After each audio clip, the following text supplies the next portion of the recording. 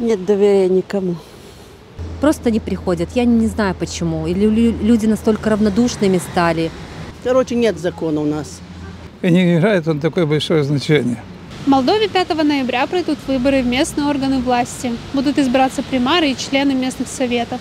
Мы решили узнать у прохожих, уверены ли они в том, что эти выборы пройдут честно. Ну, и мне кажется, что тут более-менее будет честно, потому что это не такой уж высокий пост, и не играет он такое большое значение.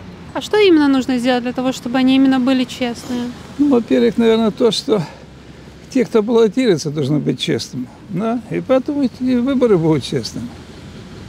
А если вот так все время обманывают, да, так они никогда не будут честными.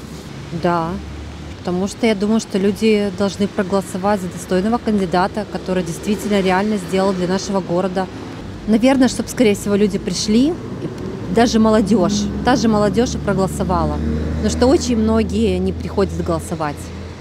Просто не приходят. Я не знаю почему. Или лю- люди настолько равнодушными стали, бездушными, я не знаю, к своему родному городу. Просто вот, вот так относиться. Это наш выбор. Это, это я считаю, что ну, так не должно быть. Я считаю, что каждый должен прийти и сделать свой долг. Это, это, ну, это я так считаю. И, наверное, каждый должен так считать. Нет. Почему? Ну, все знают почему. Потому что у нас в стране сейчас капец что творится. А что именно нужно сделать для того, чтобы они прошли честно? Мы ничего не можем сделать. Это все как бы глобальные события. Все, что в мире творится. Вы же сами сами знаете, что как бы а, рядовой обыватель такого ничего не может здесь сделать. Ну, 50 на 50. Ну, так люди устроены. Не могу вам сказать такое. Честность не бывает в нашем мире. Потому что, видите, захотели, снимают э, с выбора. Не хот... Короче, нет закона у нас. Обещали, что будут, Майя Александровна будет справедливо, но она неправильно делает. Я считаю, не знаю другие люди. А что именно нужно сделать, чтобы они прошли честно? Снимать этих всех, что были про- раньше, поставить молодежь, которые уже, я так думаю, не знаю.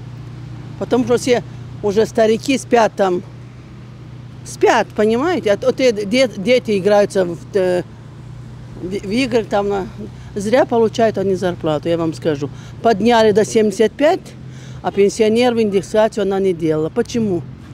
Были в село, спрашивают, она говорит, нет денег. Ну сейчас, откуда ты деньги взяла и даешь этим?